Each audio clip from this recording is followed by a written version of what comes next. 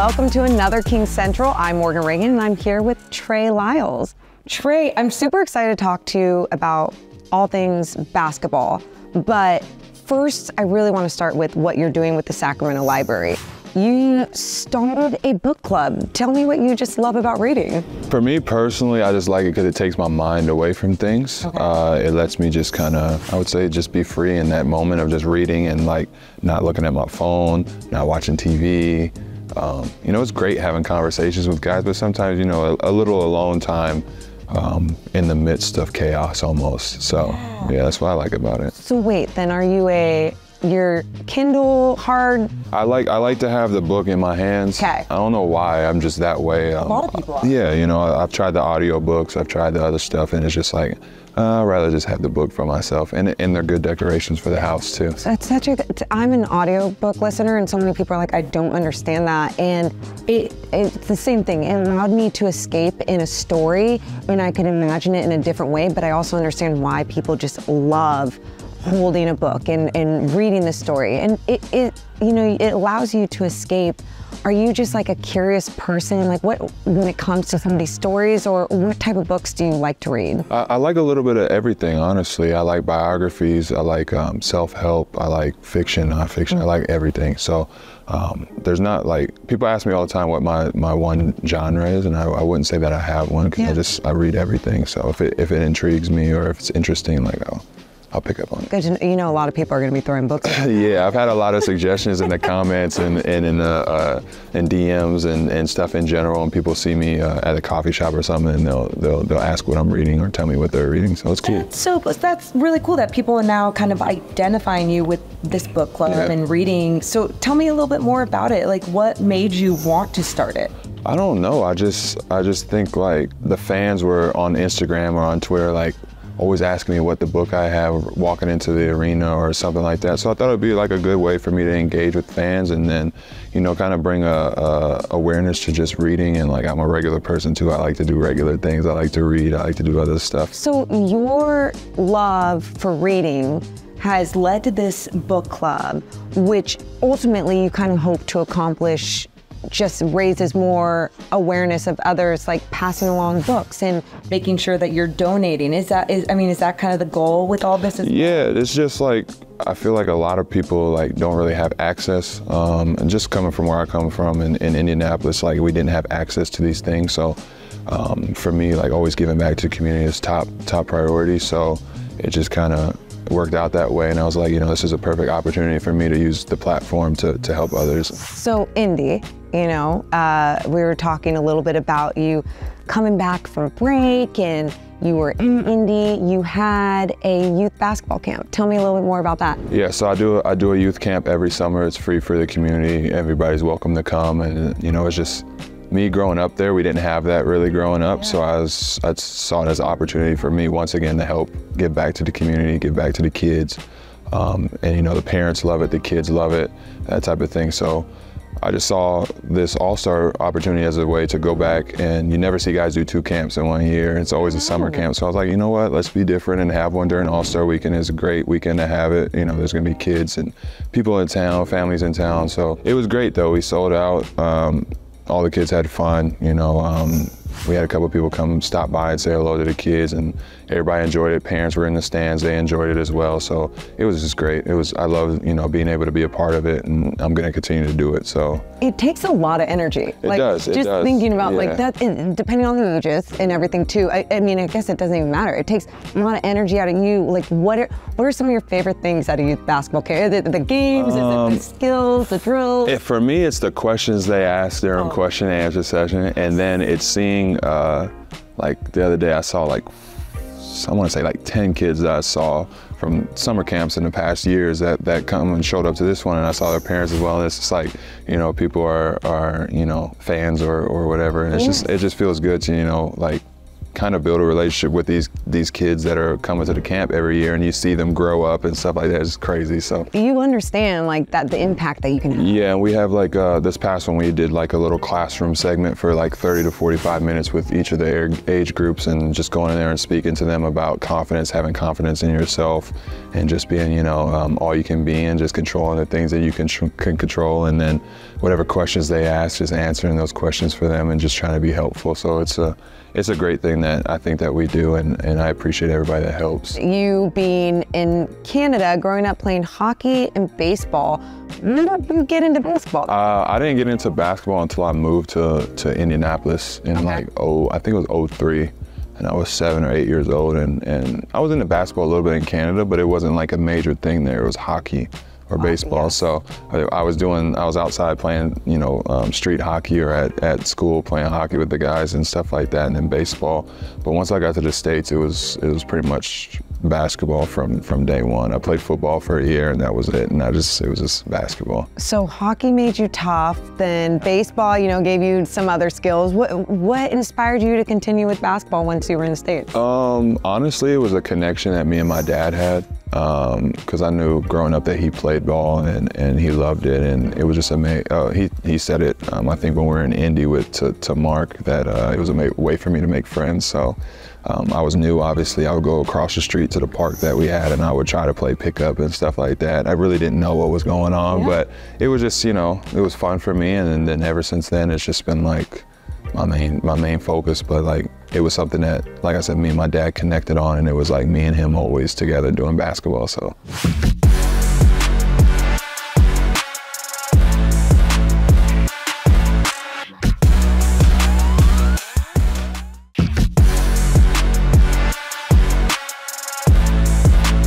remember at the end of last year, after the season, in your press conference, you talked a little bit about uh, going over to guys' houses, sharing meals with one another, feeling this connection that maybe you didn't have before, and maybe even calling Sacramento like your NBA home. What, what's it been like finding that NBA home? it's been amazing honestly you know uh, me and my dad were talking about it when i was home over the break it's like this is my ninth year and this is the first time that i've been in a, on a team for longer than two seasons. So um, it's tough when you're just constantly moving around to build those relationships or, or, or hold on to them really when you in the back of your mind you don't really know.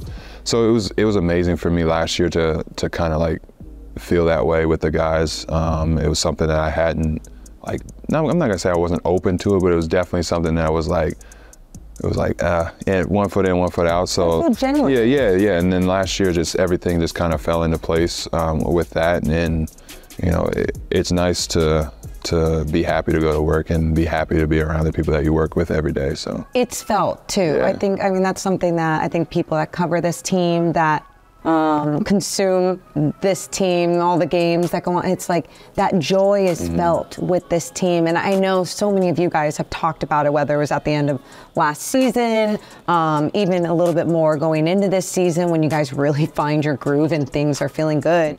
And I know Mike Brown has talked about how that second unit has, you know, this bond and gives this really special boost. What is it about that boost you think that he loves and that really that you guys contribute to this team? Um, I think that I think he knows that we the the that our unit plays with the I'm not I don't want to say grittiness, but like just kind of like go out there and just throw our bodies around and do what we need to do to, to help the team to uplift the team. And I think he knows that with me and Malik, we're, we're two of the vocal leaders on the team that, that he's going to get our best and we're going to hold each other and the team accountable.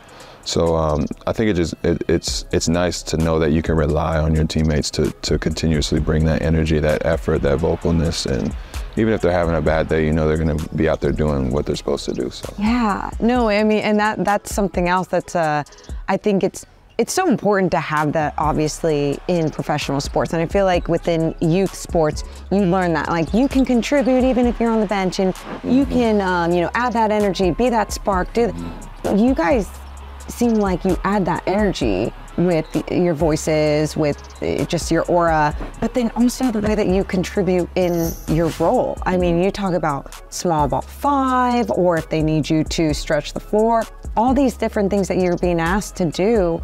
Has that been fun for you to show off like your versatility? Yeah, it definitely has. You know, um, last year I, I went up to the coaches and told them, you know, I could I could play five too. You know, I, I, grew up playing. I was a center my whole life up until college, so it's like I know how to do a couple of things. So it's just it's fun, um, and it's another thing for me, competitive wise, to, like, to go out there and compete when I'm I might be smaller than other guys, other centers, whatever, but to go out there and compete and, and, and fight and just show that you know, not only myself, but everybody that we belong out there. I belong out there and, and I can help in, in more ways than one. You know, one of the things I, I take pride in is just controlling what I can control, which is my energy and my effort. And I might not be scoring, but you best believe I'm gonna do something else to, to help and impact the, you know, team, team on winning. Yeah. It's so. a team sport. I mean, that's Yeah. what it's needed. You know, all these different things are needed. And I mean, that's, you talk about how you grew up playing uh, in that position, but it still feels like you're playing in the best league in the world and you just play so much bigger than you are at times. What is that just confidence? Like, is there a different mentality shift? What is that? Uh, I think it's confidence and it's a little bit of a mentality mentality shift when you when you go out there and you see you know a, a guy no other four or five inches taller than you, or 100 pounds, 50 pounds wider than you. It just kind of, for me personally, I just gotta you know, all right, I'm gonna go put my work hat on and, and I'm not gonna be the reason why such and such happens, or I'm gonna show them that they can continue to rely on me in this way. Trey Lyles. Man, Trey is just so smooth right now. And Trey Lyles, Okay. uh-oh, chilling in the Bronx and still doing the Hollywood shuffle with the triple. You mentioned Malik in that second unit with you know being that boost and being able to, um, you know, whether you want to go in the direction of using the word grittiness or if you want to use even just like I don't know, confidence. I mean, whatever it is, what's it like when you see him playing so free and fun as well coming off the bench? Uh, it's great. You know, me and Malik have a have a pretty cool tight bond. So, uh, you know, for me, just being able to be a part of the unit with him and and, and talk with him on the court, off the court, it's always in like a, a positive, you know, light um, with me and him. Um, we can say things to one another that we might not be able to say to other people, but but we know that we're coming from a good place and we're going to hold one another accountable and. And um, for me, just to see him, you know, the year that he's having this year is, is amazing. You know, he's doing everything that we expect from him and some. So, you know, he's a huge boost for us. Um, off the court, starting whatever you want to say. You know, he's he's one of those guys. Um, so, you know, just being able to be out there with him is, is fun and it's a joy. you talked about how Mike Brown, after last year, helped you regain some confidence. Can you talk more about that journey of regaining your confidence? What was that? Was that altering, you know, some of your game? Again, that your mindset? What was that? Um, you know, last year was a little rocky at the start. Um, I was in and out of the lineup for a little bit, but then, you know, I just went to him and I talked to him. His door, you know, he's, he he talked he talked to us as a team, and it was like, you know, if you have any questions, my door is always open and stuff like that. So, um, me taking the time and him taking the time to have a conversation with one another, that that goes a long way for me personally, just on a respect level. Not to say I hadn't had that in the past, but it was just when I was up there talking to him, it just felt different. And then he acted on it afterwards, after that. And then, you know, um, continuously just throwing confidence at me, building me up, never, never breaking anybody down. Not just talking about myself, but anybody on the team never, you know, saying anything in a negative light is always good and it's always positive and it's nice to be around, like I said earlier. So um, him just continuously doing that and the rest of the coaching staff as well. But when you have your, your head coach behind you too, it's just like another level of confidence that you can go to. So him continuously doing that for me, it, it helped me out in, in ways that were, you know, unparalleled. And, and I think just since then, it's just kind of been on an uphill trajectory. So, you know, um, I said at the end of the year, like, there's not a lot of people that I would do anything for, but like now it's like him, Jordi, like this whole coaching staff, it's like I'll, I'll go out there and run through a brick, brick wall for y'all. So, like, I mean, you guys help me out so much that way. I'm a, you know, expend my extend myself in, in ways that you guys need. So It's wild to think that just like a communication style Yeah. could lead to that type of communication it helps everything. You know, coaches are on us all all the time about communicating with one another, and, and they're doing it as well. So when you see the communication coming from the highest up all the way down to the bottom, it just helps. You've been here for a couple years now. Um, what have you enjoyed most about Sacramento? Uh, I say the people. Um, Yes. The people, the f- not even not not even just the fans, but Yeah. just people in general. Just like I got a coffee shop I go to, I'm going in there, I'm talking to people, you know, all day, or not all day, but every day, and it's just like people are nice, genuine, like, and it's just a cool city to be in. And it's just like before I got here, it wasn't what I expected at all. But you know, it's it's it's a nice city to live in. I think I've had one brother run into you in a coffee shop, and then another brother run into you at like.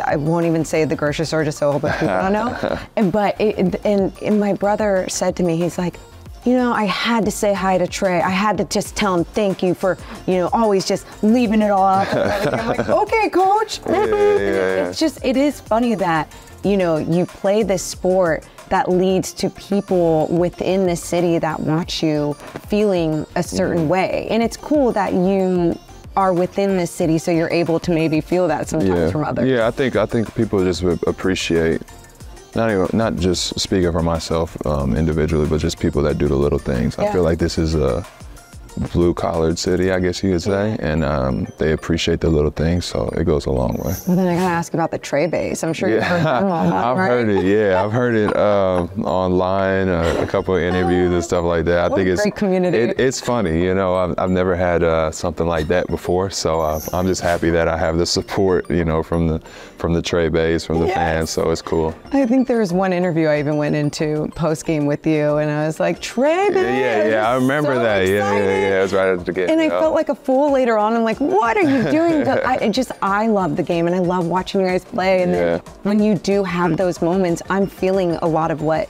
so many others are feeling and just came out in that. Yeah, interview. yeah, no, so it's all good. thank you for embracing it and not thinking I'm totally. No, not at all. I'm just getting word we got Trey Lyles in the hallway, so let's go straight to the hallway. Talk to Trey Bay. Trey Lyles is in the hallway.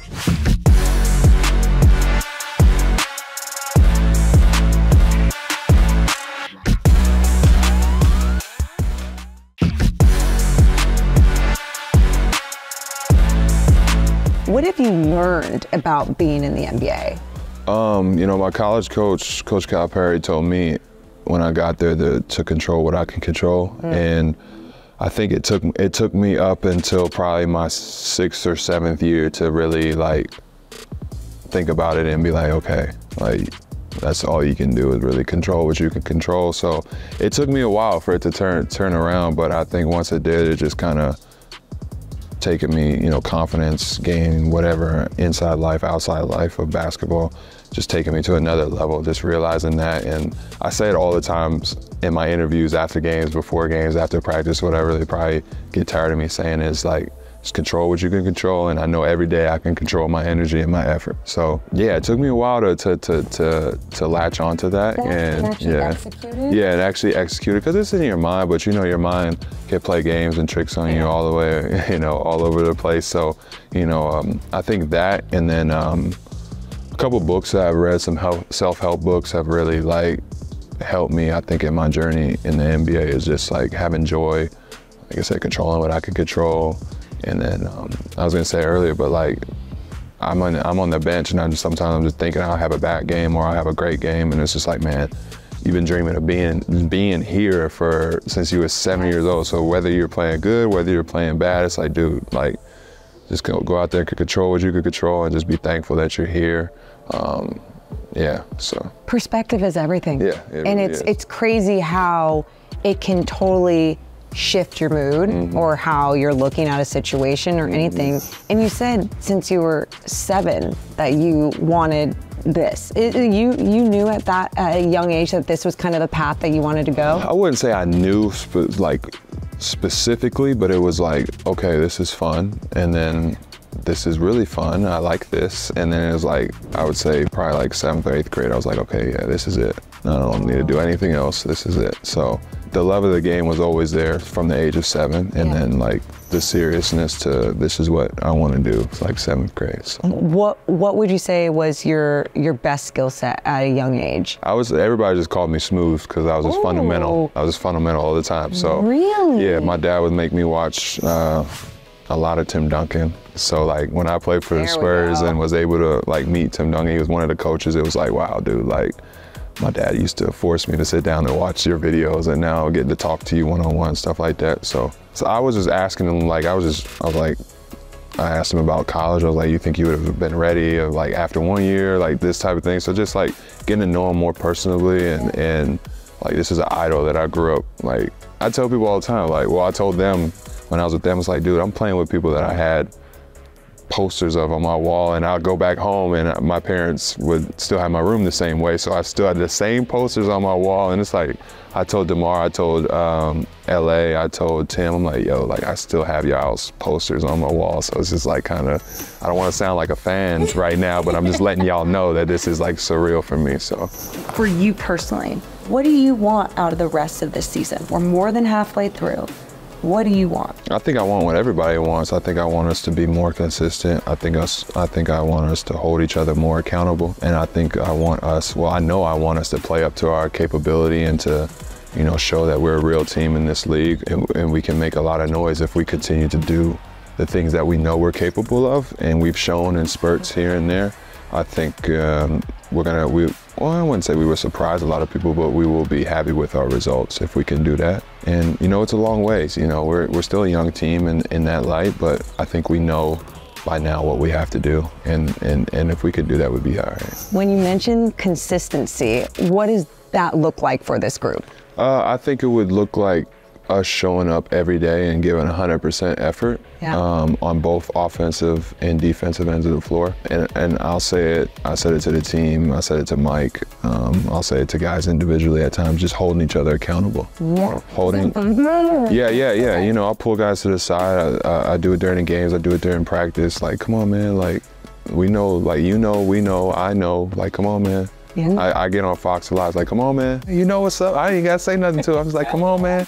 So, no, just like things like that. And just, like I said, continuing to show up every day. If, we're, if we could get 1% better every day with our consistency, it's like we're just going to continuously get better. So, In that success, like even what does that look like on the floor? Does that mean just, you know, you say offensively and defensively, but defensively, is that, you know, ultimately, yes, you want to get all the stops in the world, but there's also guys that can shoot with their eyes closed and Yeah. a hand in their face, you know? I, I would say it was uh, it would be compete level, um, making that extra play, diving on a uh, no, diving on a loose ball, um, just the effort. Like I said, I'll, I'll, it's, it's a lot of what I say. It's like effort. You know, if, if we can continuously having um, um, a consistent effort on that end, we'll be fine. And I, th- I think sometimes that is the hardest thing to bring out of athletes, Mm-hmm. even just growing up. It's who wants to leave it all out there. Right. When you speak on that effort, does it feel like this squad, everyone wants to leave it out there, or is sometimes is it just everyone needs a little bit of motivation from somebody else, or a coach, or a teammate? I think in general, not even just on our team, eh, but in, in sports in general, you know, sometimes it's just you need to hear it or you need to watch it on film or, or something like that. And everybody knows.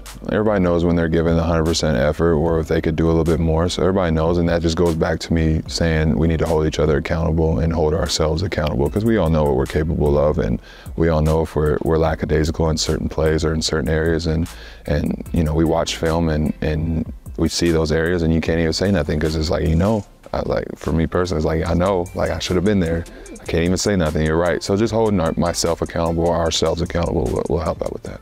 It's difficult, but like you said, it is hard it's hard but the communication Yeah, yeah. and just knowing one another and where it's coming from, whether Mm-hmm. from the heart or from just being honest being honest with yourself being honest with your teammates it, it'll help out a lot Well, Trey, I really appreciate you joining Thank us you. today. Thank you for having me. Thank you.